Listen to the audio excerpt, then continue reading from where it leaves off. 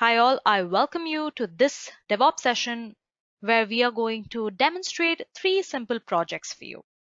So the first two are going to be fairly rudimentary where we are going to introduce the two tools that we are going to be using for our third project. So you get an individual understanding of both of these tools before using them in integration with each other. This is going to be a three part session the first of which I'm going to resume with right now. But before we begin, let's discuss our agenda for today. So our first project is going to be creating a continuous integration pipeline using Jenkins. Here we're going to compile and test a piece of code which I have in my Git repository using a Jenkins pipeline. Our second project is going to help us understand another very popular tool, which is Docker. We're going to understand the Docker components, through a hands-on session by the end of which you'll learn to pull a Docker image and spin your own Docker container. And our final project is going to be a little more complex where we are going to use the skills that we've learned through the first two projects and learn how to deploy an application using Jenkins and Docker. With that, I come to the end of my agenda. So without much ado, let's get started. So first of all, let's move forward by understanding why do we need continuous integration. So this is how a process looked like before continuous integration. Over here, you can see that there's a group of developers who are making changes to the source code that is present in a source code repository. Now this repository could be a Git repository, a Subversion repository, etc. And when the entire source code of the application is written, it will be built by tools such as Maven. And after that, the built application will be deployed to the test server for testing. And if there is any bug in the code, developers are notified. Now this will be done with the help of a feedback loop. And if there are no bugs, then the application is deployed onto the production server for release. I know you must be thinking, it seems like a perfectly fine system. What is the problem with this? This is very textbook, right? You write the code, then you build it, then you test it, and finally you deploy it. But then let's go ahead and try to look a little closer. Let's try to analyze the flaws that were there in this process one by one so we get a better idea of it. So this is the first problem as you guys can see that there is a developer who's waiting for a really long time in order to get the test results as first the entire source code of the application will be built and only then it will be deployed onto the test server for testing. It takes a lot of time so developers have to wait for a long period of time in order to get the test results the second problem is that since the entire source code of the application is first built and then it is tested, so if there is any bug in the code, developers have to go through the entire source code of the application. And most of you might already know that it is actually very frustrating for a developer because he has written a code for an application which was built successfully, but in testing there were certain bugs. So he has to check the entire source code of the application in order to remove that bug which basically takes a lot of time. So basically locating and fixing of bugs is a very time consuming task if we take this traditional approach. And these two are the most basic problems that you face in a traditional approach. Hope you guys are with me so far if you have any doubts, you can go ahead and leave them in the chat box. I think my team will be very happy to reply to you. So let's move forward. So now the third problem occurs at software delivery. Since the developers were actually wasting a lot of time in locating and fixing of the bugs instead of building new applications, the process is inevitably going to be really slow. Locating and fixing bugs is a very time consuming task and the fourth problem occurs at the feedback loop. Now, the continuous feedback related to things like build failures, test statuses, etc., was not present in this approach, due to which the developers were unaware of how their applications were doing. The feedback occurs when the entire source code of the application is built, tested, and then only the developers are notified about the bugs in the code. But as a developer, you need to be continuously notified of when your code is being pulled and built. And the moment it is built, any developer should be notified about the build status. And once it is built successfully, it is then deployed onto the test server for testing at that time. Whatever the test data says, the developer should be notified of it. Similarly, if this developer makes any commits to the source code at that time, the code should be pulled, it should be built, and then the base data should notify the developers. After that, it should be deployed to the test server for testing, and the test results should also be given to the developers. And that is what happens when I'm talking feedback. Feedback is present. So let's move forward and see how exactly continuous integration addresses these problems and helps in resolving these issues that we have discussed so far. Now, as we have discussed, there are multiple developers working on the same piece of code. And after every commit to the source code, an auto build is triggered and then it is automatically deployed on the test server. If the test results show that there is a bug in the code, then the developers only have to check the last commit made to the source code. So the advantage here is that developers actually know where the bug is present or which commit has caused the error. So they don't have to go through the entire piece of source code of the application. They just need to check that particular commit which has introduced the bug. This also increases the frequency of new software releases and the concerned development teams are always provided with relevant feedback. So let's move forward and see what exactly is continuous integration. So continuous integration is a development practice in which the developers are required to commit changes to the source code in a shared repository several times a day or more frequently. Every commit made to the repository is then built. Now this allows the teams to detect the problems early and reduce their issues which we discussed earlier. This entire process has continuous feedback which also reduces the release time of each version of the application. Now, one of the ways in which this is done is through Jenkins. So Jenkins is basically a continuous integration tool, which is open source and written in Java. How it achieves continuous integration is that it does it with the help of plugins. Jenkins has well over a thousand plugins, and that is the major reason why we are focusing on Jenkins. It is one of the most widely accepted tools for continuous integration because of its flexibility and the amount of plugins that it can support. This allows integration of the various DevOps stages that you will need to execute. It supports various development, deployment, testing technologies. For example, you get Maven, Selenium, Puppet, Ansible, Nagios, and many more. All right, now for some better understanding, let's dive straight into the demonstration. So this is what a Jenkins dashboard looks like. I have no jobs done here.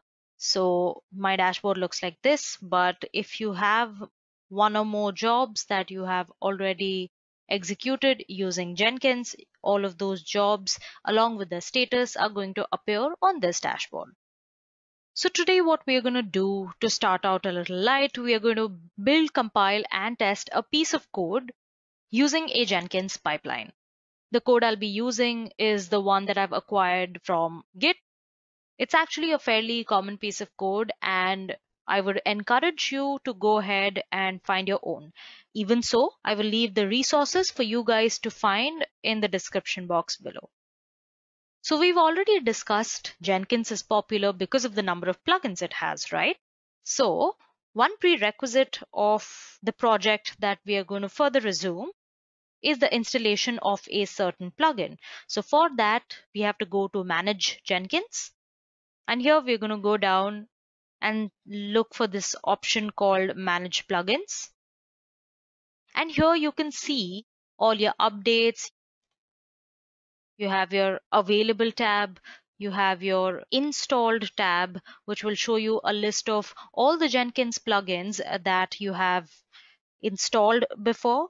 In my case, it is all the suggested plugins that initially is suggested by Jenkins itself when you're installing Jenkins in your system. I'm running it on my Ubuntu box. So I'm going to go on available and look for an HTML publisher, which automatically appears here. So I'm going to select it and select install without restart. Now, uh, this is a feature of Jenkins which is going to remain consistent throughout. When a process is pending, you see a gray color ball next to the process. And once it is installed, once it is successfully run, this ball appears blue next to the name of the process. All right. So HTML publisher is now installed on our Jenkins and you know it how? By the color of this ball. All right. So once again, just to remind you, this hands-on session around Jenkins is basically to help you understand how to compile a code that is present in GitHub. We are going to review that code and analyze the test cases present in the GitHub repository. And we're going to do all of that by creating a build pipeline using Jenkins. So let's move on to the first stage of our project. So here what we see is our developers are committing changes to the source code and that source code is present in a shared repository. It could be anything, Subversion, Git, any repository. All right. So next what's happening here is that there is a Jenkins server and it's actually polling the source code repository at regular intervals. It's basically trying to see if any developer has made any commit to the source code. If there is a change in the source code, it will pull the code a little, prepare a build, and at the same time, the developers will be notified about the build results. Now let's go ahead and execute this much practically on our Jenkins. If you guys want to know how to install Jenkins, you can very well go ahead and check out the tutorial on our channel as well. So for this project, I'm going to be creating three jobs. Let's start with our first job. For that, you can either click at the create a job link on your dashboard or on the left, you can click on new item. So I'm just going to call this compile job and I'm going to go ahead and select a freestyle project. Now the reason I'm doing that is that a freestyle project is actually the most easy to configure. Apart from that, it's also very flexible and easy to set up. So having said that, let's go ahead and click OK. OK. So here we have our compile job. Let's just click on it and then go to configure. So now we are going to configure our job. Yes. So here I'm going to go to source code management, select Git, and here it's going to ask you to enter your Git repository. Instead of typing, I'll just go to my Git repository and just copy and paste the link. So there's this. In build, I am going to select invoke top level Maven targets. Here I'm going to select the Maven version and in goals I'm going to write compile, right? Now you need to understand that Maven has a build lifecycle and that build lifecycle is made up of multiple build phases. Typically the sequence for a build phase will be first you validate the code, then you compile it, then you test it, and then you perform unit tests by using suitable unit testing framework then what you're going to do is you're going to package your code in a distributable format like jar or war and then you verify it. And you can actually install any package that you want with the help of the install build phase and then you can deploy it in the production environment for release using this. So moving on from the maven build lifecycle as you can see in the goals tab what you need to do is you need to compile the code that is present in the github account so this will trigger the compile build phase of Maven.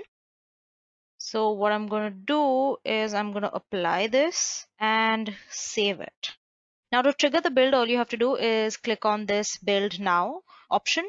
Here in the bottom, you can see this little silver ball, which shows that your job is in progress. And once your job is done, it's going to turn blue like the installation job look like when we had installed the HTML Publisher plugin.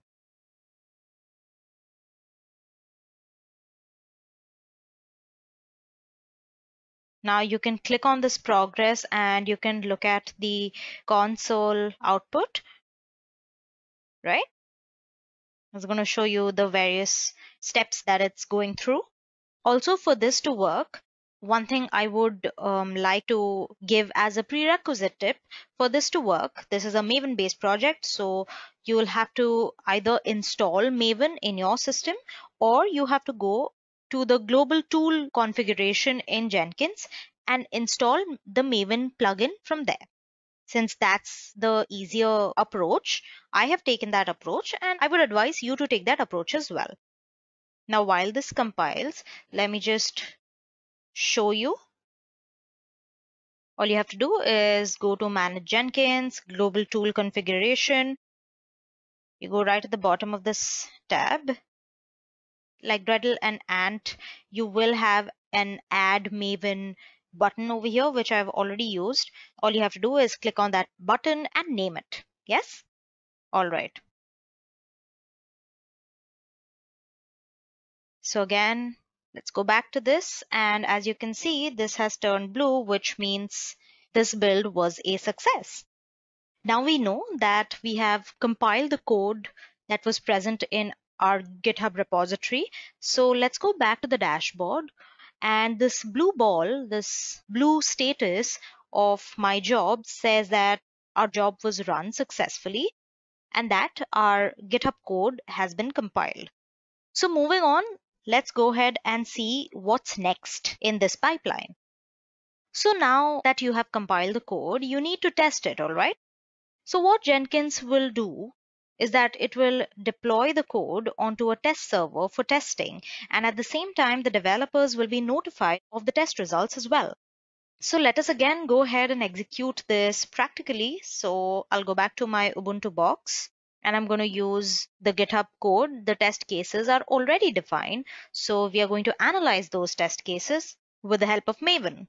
So I'm going to go back to my Ubuntu box and create another new job. But testing would still come later. Before applying unit testing on the code that has been compiled, first what you need to do is you need to review it with the help of a PMD plugin. And that job is going to come in between your compile job and your test job. So I'm going to go ahead to new item. Let's name the review job a review job and freestyle project. Okay. Now let's go to the source code management, same old, same old, select git. And let's go down to build. So here again, I'm going to select invoke top level Maven targets. In order to review the code, I'm going to be using the metrics profile of Maven. So what I'm going to do is, so here we're going to type hyphen P metrics PMD colon PMD. And this is basically going to produce a PMD report, which is going to produce all the warnings and errors that are there in the code. Now there's an additional step that we're going to do in this stage. I'm going to go to the post build actions. And here I'm going to select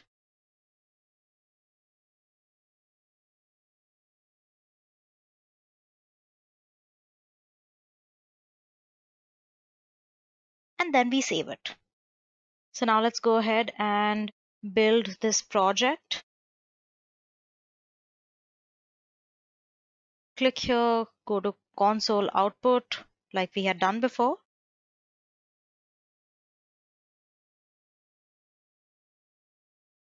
This should be fairly shorter than the other one.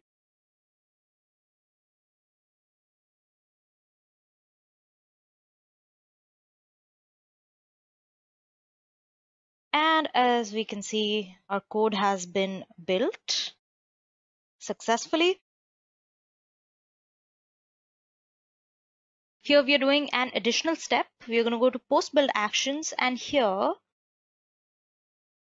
we are going to publish the HTML reports, apply and save. We're going to go ahead, build it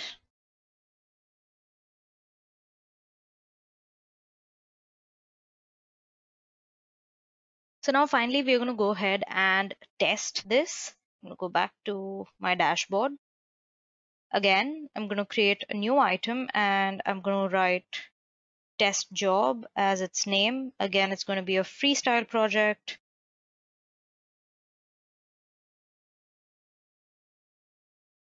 We're going to do the exact same thing as we did before.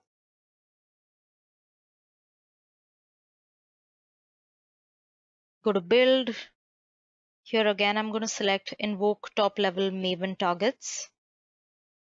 And in the goal, I'm going to write test. As I had mentioned before, the test script has already been written in my GitHub repository. So as I've told you earlier that the Maven build lifecycle has multiple phases, all right? One of them is a unit test. So in order to invoke that unit test, what you need to do is the Go stuff uh, that I need to write tests and it will invoke the build phase of the Maven build cycle, all right? So the moment I write tests here and I'll build it, I will actually analyze the test cases that are present in the GitHub account.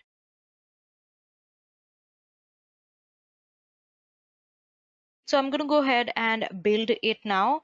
We can again go to the console output and check if it's performing unit tests on our code.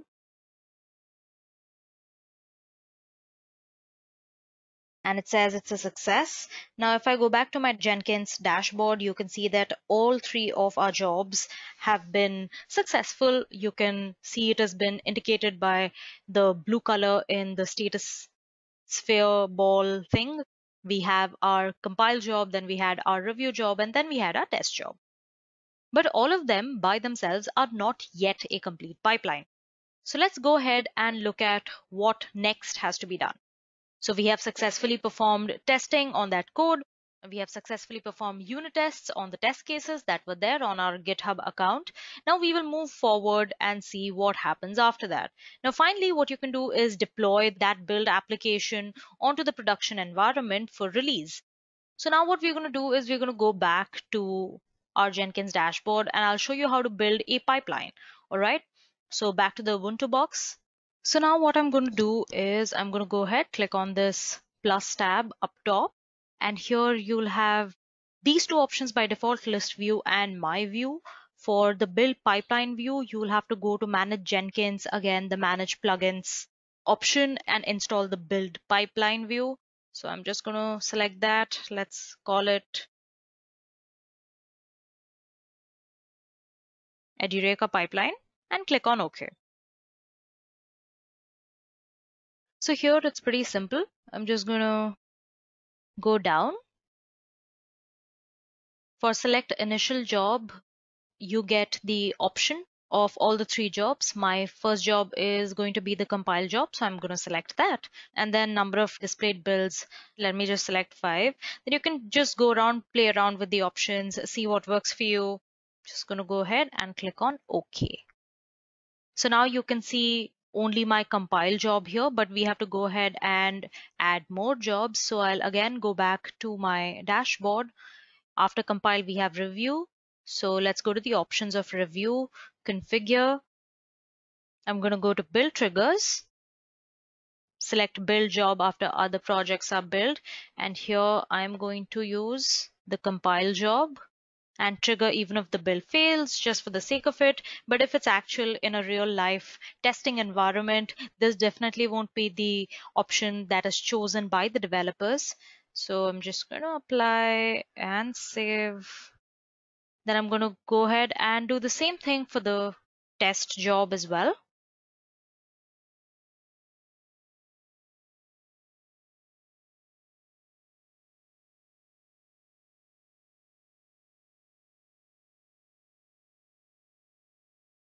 All right, here let me go and show you the Edureka pipeline that we have just created.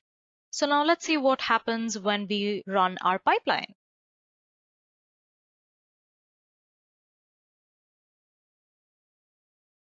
So I accidentally ran this twice, but see now that we are running this pipeline, first it's going to compile our job then it's going to pull all the code from GitHub and then compile it.